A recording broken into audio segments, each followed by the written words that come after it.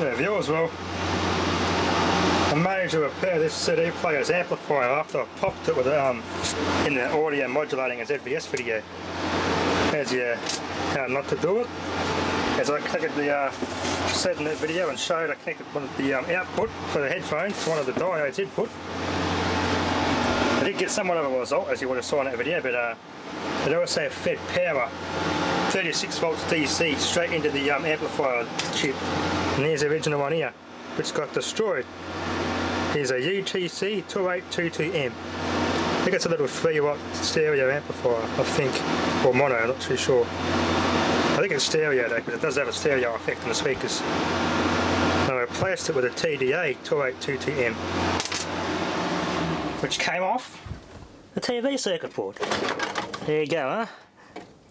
Okay, throwing your old electronics away. All sorts of parts you can pillage off to fix other things with. Great recycling effort. And a little, little uh, I think it was a 200 or so, or 250 ohm resistor got smoked, but uh, didn't seem to bother it too much. It's not that bad out of tolerance, but I see how it went and it still works fine, so I didn't bother replacing it. I just replaced the amplifier.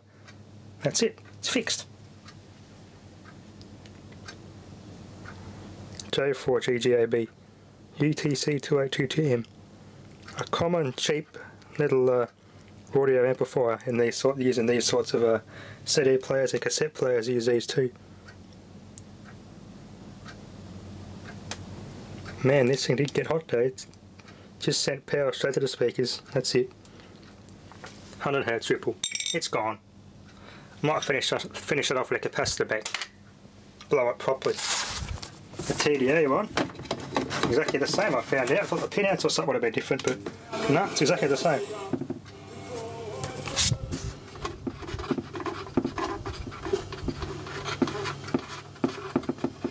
All works. Pretty good, isn't it? I won't show here any music because it's uh, copyright, but it's fixed. Anyway.